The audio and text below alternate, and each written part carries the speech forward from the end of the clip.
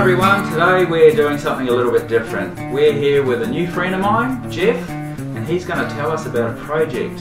Now I was out this area, I'm not going to tell you where because I don't want everyone out here sticky beaking, but I was out this area doing some work this weekend and I made a little discovery that's very interesting we'll see shortly. You might have already seen it in the thumbnail. But this man built it and there could be some future to it as well. Jeff, how are you today? Yeah, good, thanks. Thanks for your time and thanks for being able to allow us to do this. And I just hope that everyone can get something out of it. You're going to uh, divulge some of the little secrets behind this project of yours and tell us all about it and what's been going on and why. And hopefully we can discover some of those. Maybe we can build one ourselves. What do you reckon? Let's have a look and we'll come back to Jeff right now with all the answers. Okay, so Jeff, what have you done? So, created a solar um, power station that tracks the sun. That's its unique bit about it. All right, that kind of gives us our viewers a bit of an idea of what's been going on in your backyard, isn't it? Yeah. Uh, the the big question I have to ask though is uh, why would you do such a thing? Because when you see that monstrosity of um, technology sitting out there baking in the hot sun every day, you have to say why would someone do that? So tell us a bit of it. Give us an insight into that. And there's probably a couple of things like um, uh, I come from a trade background, so I'm always interested in building and manufacturing things. Um, also come from um, a power industry myself, so interested in electricity and uh, saw the opportunity to uh, create something that could produce an income. So yeah, a combination of those things and the challenge of actually doing it. I hadn't sort of seen anyone do it in a backyard on a very low scale, like a low financial scale. It's all pretty basic stuff. Okay. Um, so when did you have this idea? Yeah, so approximately 2010, early 2010, I had the idea of, of uh, that I could build something. I actually sketched something on the back of a beer coaster at the local RSL and showed a mate. And As you do.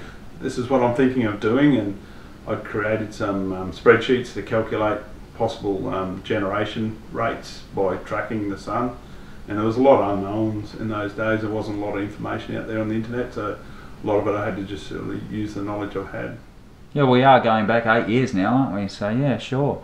And you started building in. So not long after that, yeah, 2000 probably March 2010 started on stage one, um, and it was yeah just using common everyday stuff that you can buy from the local uh, steel supplier, and um, yeah just simple bearings and yeah. Okay, and the system was then completed in.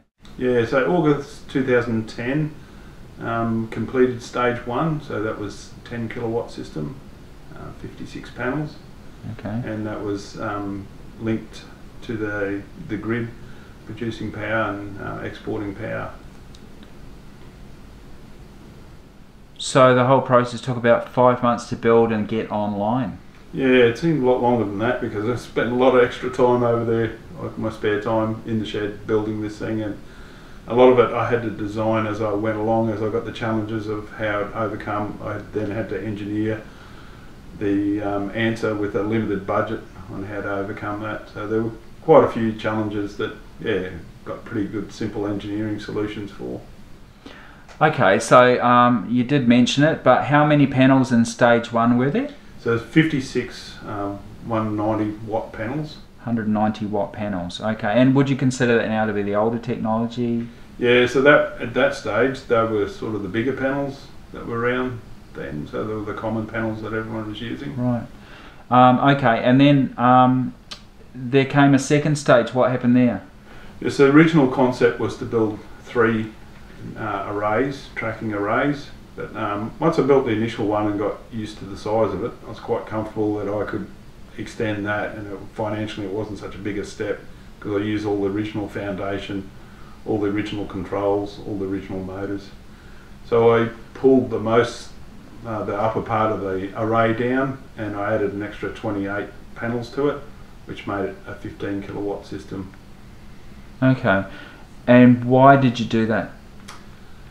Um, just the efficiency of the whole system going bigger was more efficient, and yeah, this way I could get away with just building two arrays rather than three. And there was a third stage then, wasn't there? Yeah, so stage three um, come later, so it was purpose built 15 kilowatt system, and it has uh, 56 uh, 250 watt panels, and yeah, it also incorporates an underground uh, water tank as its foundation, which I capture the harvest the water off the panels and store in the tank. And the purpose for that is cleaning the panels and also cooling the panels. Um, I've heard, I think, that cooling the panels, well, hot panels aren't efficient.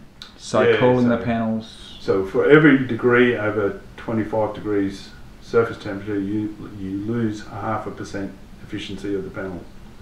So the surface temperature can get quite hot, sort of 50, 50 degrees plus. So you're losing 25% efficiency. what about the dirt accumulating on them? How does that Yeah, affect that does affect dirt and um, bird Yeah. droppings. So yeah, cleaning the panels is a bit of a chore that needs to be done.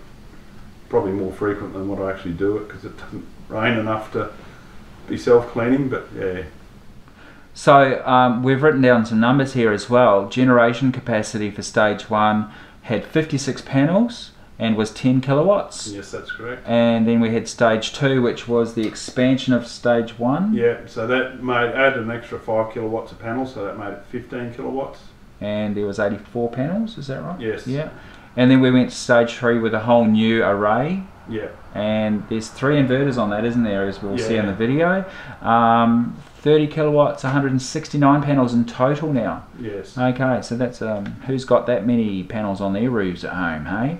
Um, okay, and at, and to get the best efficiency, you've got it tracking the sun. Yeah, so my original calculations were that by tracking it would increase um, its export capacity by 30%, and which is pretty much true. So I start generating as soon as the sun comes up by an hour or two after sunrise, it's generating pretty close to like 80% capacity, whereas most arrays produce that only in the peak of the day. Right. Okay, and how does it track the sun at the moment? So at the moment, it is all manually programmed. I have four different programs for the four different seasons of the year, and so I'll manually go in and, and manually um, punch in the program. So yeah, it's um, it's just four times a year I've got to go and program it. So it just does it on an automatic timing So it's automatic timers and, um, and limit switches. And it's got a lot of safeguards in it. Most um, drives have two protections on them from going over limits or if a gust of wind comes, something unknown. I've been through one cyclone already and it survives. So. okay. Um, I was hearing something today too about the panels from someone else, another source, that you you didn't know I was going to ask you this. That um that on a cloudy day you might put the panels flat. yeah. Why is that? Um, main thing is the biggest risk I have is storm weather. So if wind gust catches, it's quite a big sail. Like it sits about eight meters in the air and it's about 14 meters wide. So it's a big surface area to catch the wind. So my main concern is get it down flat because once you got flat, there's no danger of wind catching it. So that's the number one priority. Um, if it's cloudy, you're not seeing the sun, and you actually you actually pick up more generation for not pointing at the sun on a cloudy day. There's more reflected light off clouds, so it's it's only minor, so it's not even worth tracking on a cloudy day. Okay. So there's no sort of automatic system that will say put the panels flat because it's cloudy today. Unfortunately, there's not. Will there be in the future? Yes, there is. Okay, what is the future then? So the future is I looked around for a PLC, a uh, programmable logic controller, to um, to drive the system. But with my small budget, it's not really affordable, and especially with the software. So I found there was a um, mum and dad um, PLCs that you get called Arduino, which has freeware that you can program. It's probably not designed really for this, more designed for uh, in-home automation and basic stuff like that. So I've um, started on that. I've written probably 80% of the program, but then I've got busy doing other things and haven't got back to writing the program. Right. So basically, once I have that control, I'll be able to control it from my mobile phone. I'll also be able to have inputs in from the weather or other um, warning devices to put it in a safe position if I'm not around to do so. Uh, do you think you may be developing something here that might be not done so much before, or Uh, it's probably been done before on a larger financial scale with um, industrial type stuff. So all this is just basic stuff that you can get from a hardware shop or yeah, buy pretty cheaply and pretty readily available. It's a it's a low budget thing, but it suits its purpose, and it was a challenge, and I enjoy it. is there anything else you want to add? Because I'm out of questions. No, it's just All right. If you plan on doing something, just give it a go. And yeah, you never know. It was a, it was a fair unknown when I started it, but it was sort of met all my expectations. Very good. So, Jeff and I are just talking about building a panel in my house because apparently it's good tax deduction.